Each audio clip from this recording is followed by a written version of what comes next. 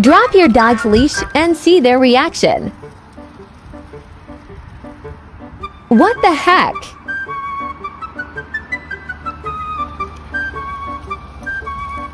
Are you coming?